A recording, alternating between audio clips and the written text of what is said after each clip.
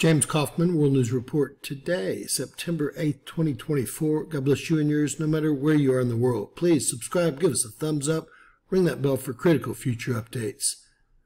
Huge filament eruption earthbound for September 10th impact. A filament of magnetism erupted on the sun this morning, September 8th, 2024. The blast hurled a coil of cool dark plasma towards Earth, seen here on SDO AIA at 304 angstroms. The blast looked as if it was generated by a filament associated with sunspot AR3821 and caused a large halo plasma eruption. And I will show you LASCO C3 and NASA's model of this coronal mass ejection. NASA's Solar Dynamic Observatory recorded the explosion. The departing plume ripped a hole in the sun's atmosphere and formed the core of a coronal mass ejection. NOAA models suggest that a CME will reach Earth late on September 10th, potentially sparking a G2 class geomagnetic storm.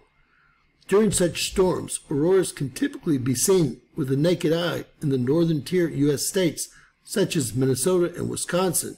Cameras, including the ones found on smartphones, can detect them even further south in rural area states like Nebraska, Colorado, and Missouri.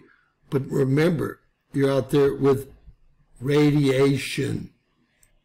Heading over to LASCO C3, we'll see the eruption right around 1 UTC time. This is the eruption right here, and you can see that it is a halo eruption, i.e. headed directly towards Earth, per NASA's Goddard Iswa spiral as well, which we'll take a look at next. Again, the filament that erupted was associated with sunspot AR3821 here that doesn't look very complex.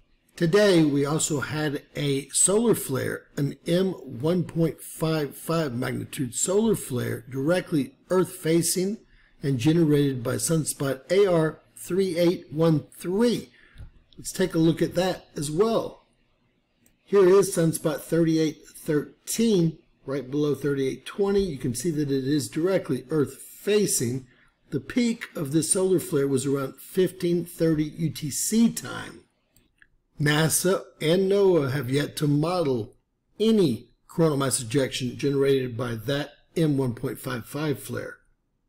Taking a look at NOAA's prediction center, they're looking for a September 10th impact late in the day, as I mentioned, looking for a 5.33 to maybe a 6.0 KP index, maybe a G2 geomagnetic storm. Let's hope our shields are up. Again, late on September 10th, over to NASA's Goddard Iswa spiral, we see that NASA is predicting much of the same.